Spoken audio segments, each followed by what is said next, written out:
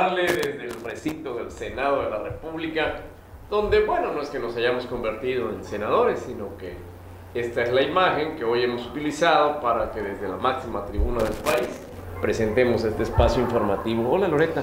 Eh, Fer, buenas tardes, buenas tardes May. Hola, ¿cómo están? Lore, Fer. Gracias, bien. Iniciando la semana bien. En una fecha desbordante de fe y además pues iniciando una de las últimas semanas del año. Así es, ya pronto se, se, va el, el año y pues para todos los que profesan la religión católica, muchas felicidades a todas las guadalupes. Las lupitas, así es. En su día. Pues bueno, pues nosotros profesamos la religión laboral, si es que ni. No hay de otra. Empezamos con nuestras notas locales. Previo al inicio del periodo vacacional de Sembrino, más de 3.000 jóvenes yucatecos de diversos planteles del Estado recibirán sus computadoras portátiles, logrando superar la distribución de 57.000 equipos del programa Bienestar Digital al cierre del 2016.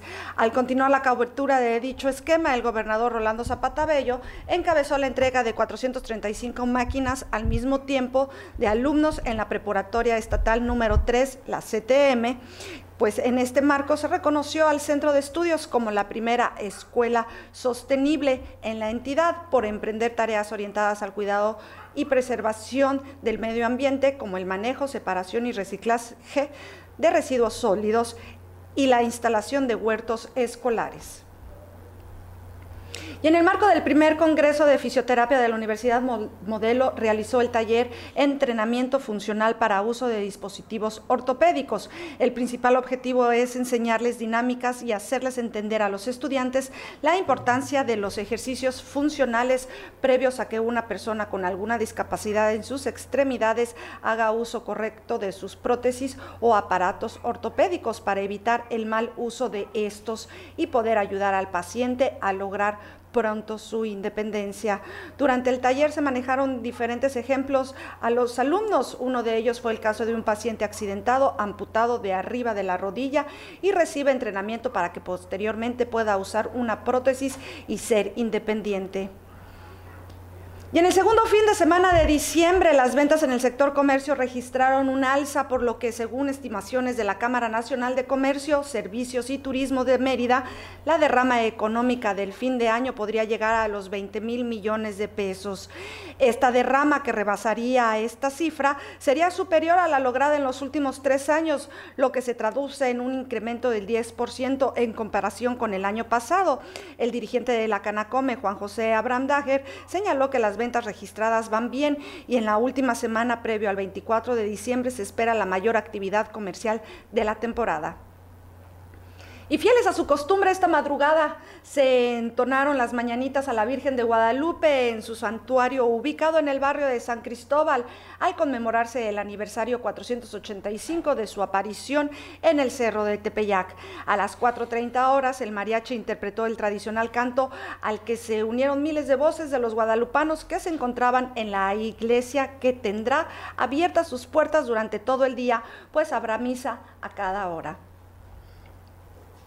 Y luego de la copiosa lluvia del viernes pasado, para esta semana se pronostica el establecimiento de un sistema anticiclónico en el Golfo de México, bloqueando de esta forma la llegada de cualquier frente frío a la península de Yucatán y propiciando un clima cálido de buena parte del día.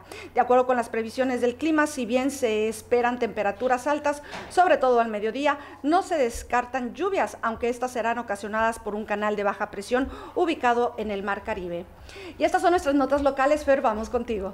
Gracias, bien, pues estoy listo para que May nos informe de lo nacional. Así es. Senadores del PRI, PAN y PRD se manifestaron a favor de un periodo extraordinario de sesiones para sacar la ley de seguridad interior que definirá el marco legal del ejército para desempeñar las tareas de seguridad pública actualmente a su cargo.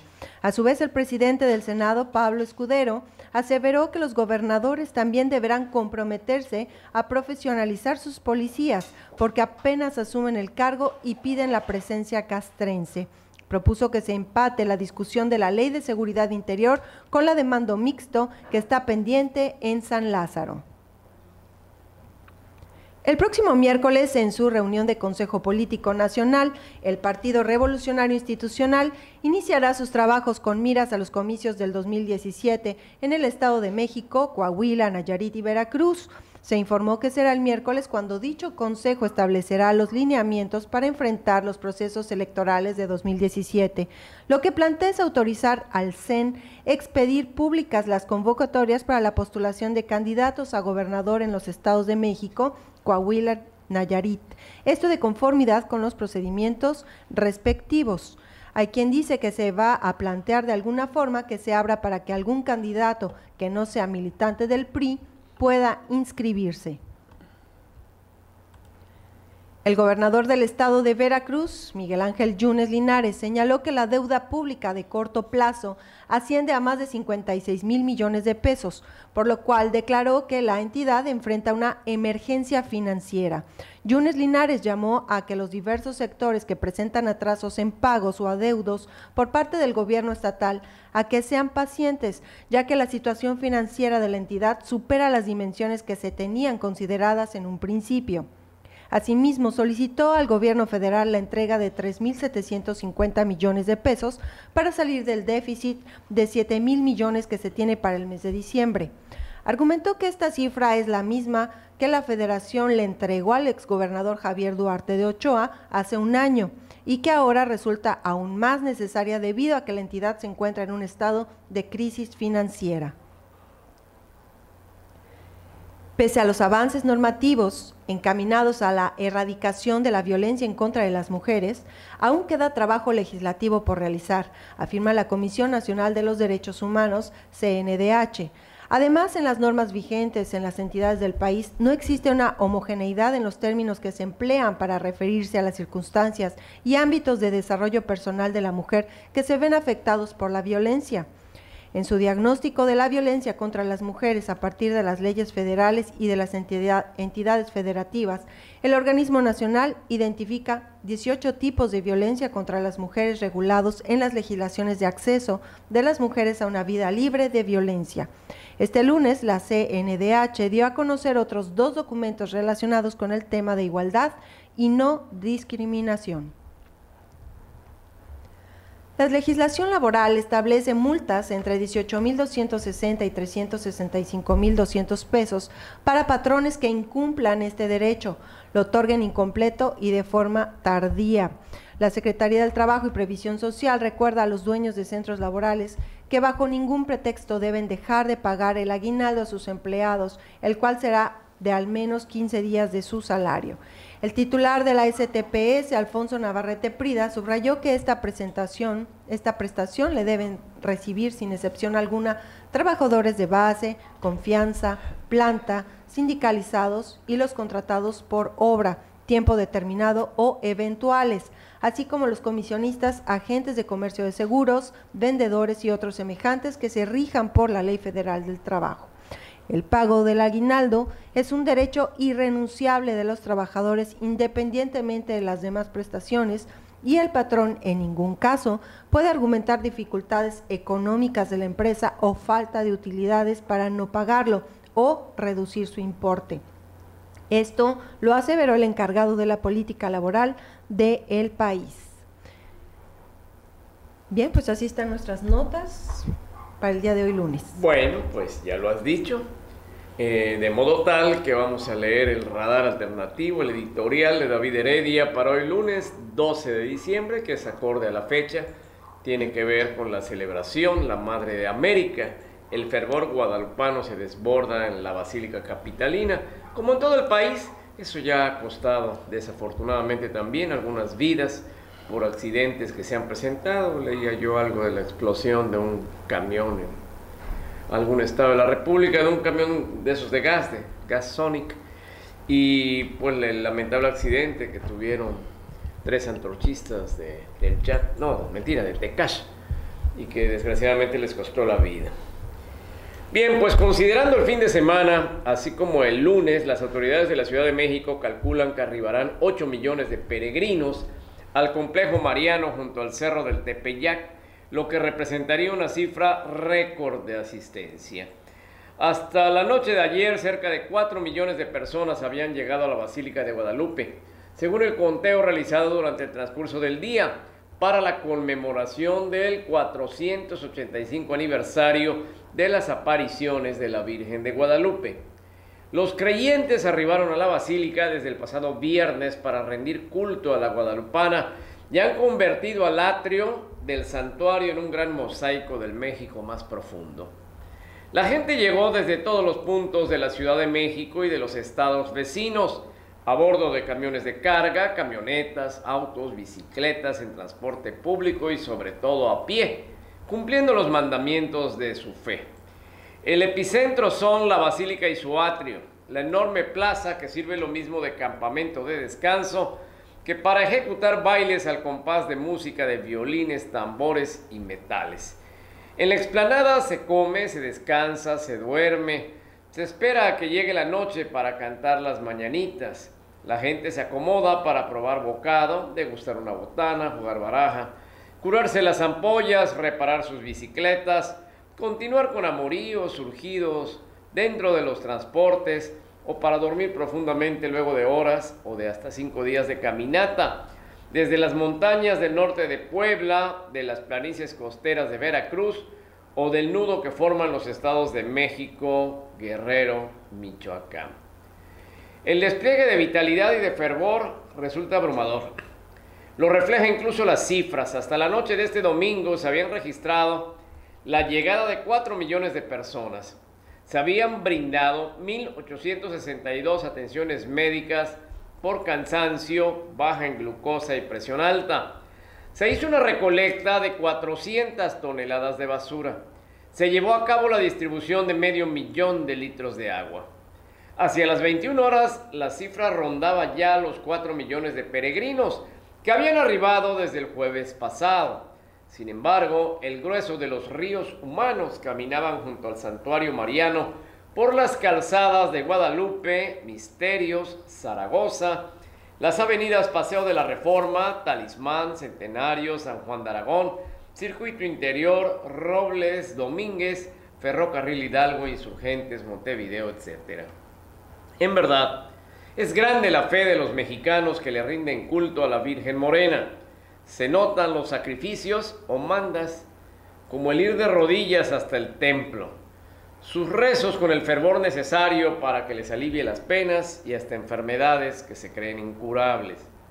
En la entidad yucateca, desde hace varios días, cuando se acercan estas fechas, las gentes que viven en las comunidades del interior del estado se preparan adecuadamente para cubrir las jornadas de viaje y es recurrente ver en las carreteras a los grupos apostólicos que viajan en carros o en camioncitos, algunos más en autobuses rentados, desde donde se van turnando para correr portando la clásica antorcha mariana, incluso poniendo en riesgo sus vidas, como ya le sucedió a un grupo de estos de la comunidad de Tecash, quienes sufrieron un percance vial con cuatro vidas que lamentar. Es el templo de San Cristóbal donde en la víspera, anoche, día 11, el río humano se congregó para rendirle culto a la Virgen de Guadalupe, cantarle las clásicas mañanitas y llevarle ramos de flores, incienso y mirra, orar durante los oficios católicos o simplemente visitarla en su día. Lo anterior se repite en los municipios sin restarle fervor y misticismo a sus creencias religiosas el pago a los milagros por devoción, amor y agradecimiento a la morenita del Tepeyac. No solo le regalan flores y veladoras, los milagros concedidos han hecho que los guadalupanos lleven al recinto mariano retratos pintados a mano, joyas y objetos valiosos que se fabrican ex profeso para honrar a la Virgen de Guadalupe. La fe mueve montañas. Esto nos escribe David y lo pone en la mesa. Así es, definitivamente la fe mueve montañas y el hecho de que exista esta eh, historia de Juan Diego que se dio en el país hace que el pueblo mexicano por así decirlo, sea muchísimo más ferviente de, la, de la Virgen de Guadalupe. Lo que sí, sí, y sí lo toma en cuenta don David en su editorial es de que precisamente esa fiesta se utilice para sacar los excesos del ser humano. ¿A qué me refiero? Eh, todo lo que es eh, las colonias aledañas a lo que es la Basílica de Guadalupe se vuelven baños públicos, se vuelven eh, tiraderos, se vuelven fiestas de alcohol, de, o sea, se supone que es una fiesta eh, religiosa y salen todo lo peor del ser humano. Esa es mi, mi bueno, La única vez que Jesús se molestó, que se vio realmente molesto, fue cuando los mercaderes fueron al atrio de la iglesia y empezaron a vender y lo sacó, pero dijo aquí es un templo de oración, no es este un mercado, ¿no? Es la única ocasión, así es, no es un sitio de comercio. Esa es la única ocasión que se le que se argumenta estuvo se le veía molesto.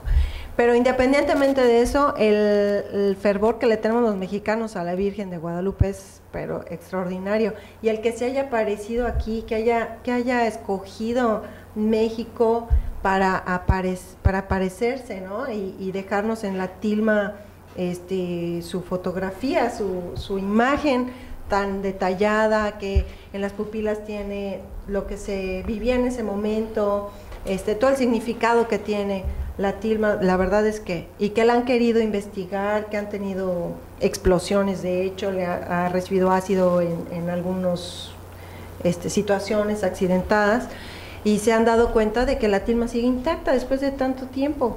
O sea, es un gran milagro, es un gran milagro. Y yo creo que nos debemos de sentir sumamente especiales por esa honra ¿no? de, la Virgen de Guadalupe.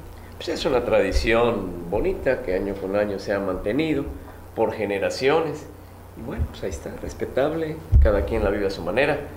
Y desde luego, pues es ocasión para reiterar que queremos vivir en paz y con tranquilidad y dejar limpio el espíritu, pues bienvenido. ¿Algo más? Nada, eso precisamente, que a final de cuentas que sirva todo esto para ser mejores personas. Eso es lo, eso es el objetivo, el vivir en paz, el vivir sin, sin meterse con, con nadie a tu alrededor, deseándole siempre lo mejor a tu prójimo y empezando por uno mismo, claro está. Bella.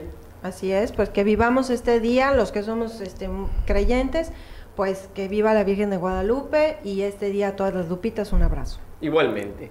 Bueno, pues pásela muy bien y nos volvemos a ver el día de mañana a través de www. La Opinión de Yucatán. Gracias, hasta pronto. Pásenla bien.